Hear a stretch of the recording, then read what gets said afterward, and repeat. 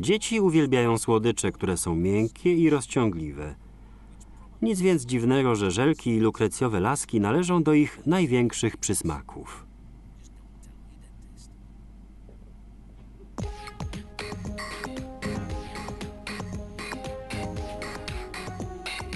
Na zachodzie nazywa się to czerwoną lukrecją, chociaż wśród składników próżno szukać korzenia lukrecji. Robi się je z pszenicy, cukru, syropu kukurydzianego, barwnika oraz naturalnych i syntetycznych aromatów truskawkowych. Miksturę gotuje się przez dwie godziny w temperaturze 102 stopni Celsjusza, co przemieniają w gęstą masę. Po schłodzeniu masa trafia do ekstrudera, który wyciska ją przez wirujące końcówki, formując sznury w kształcie świderków. Spryskiwany wodą nóż tnie sznury na odcinku o długości 18 lub 21 cm.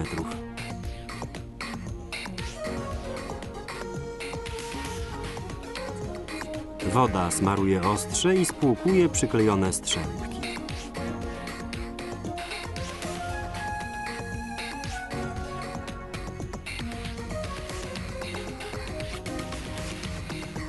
Stosy tac wędrują na 8 godzin do suszarki, nagrzanej do 60 stopni Celsjusza.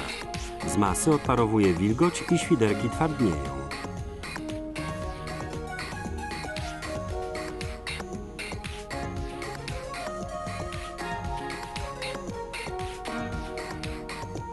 Następnie słodycze są porcjowane i odsyłane do pakowania.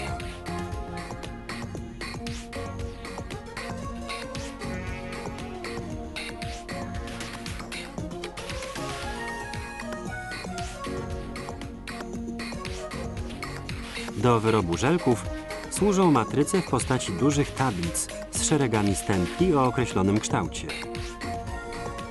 W tym przypadku matryce mają kształt dżdżownic. Maszyna dociska stemple do tac ze skrobią kukurydzianą. W ten sposób powstają formy do żelków.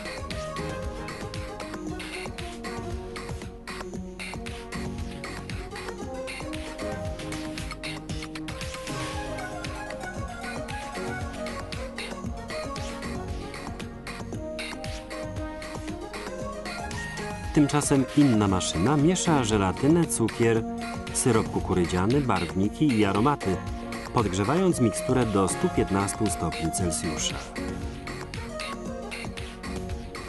Dozownik wyciska mieszankę do skrobiowych form.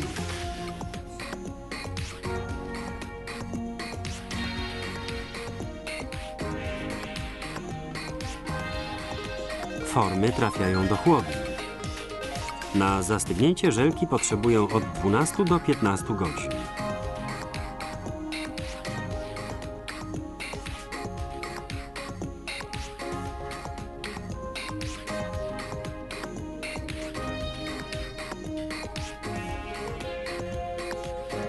Następnie maszyna wysypuje stat skrobie razem ze słodyczami.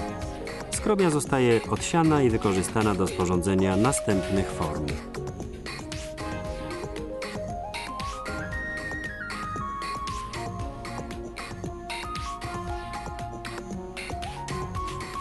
Żelki trafiają do wirującego bębna, gdzie strumień powietrza zdmuchuje z nich resztki skrobi.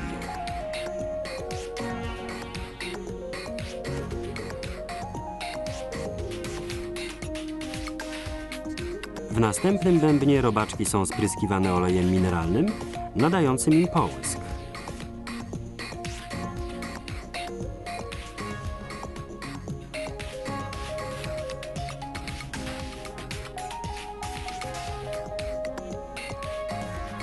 To przysmak zarówno dzieci, jak i dorosłych, a wielu wędkarzy wykorzystuje je w charakterze przynęty.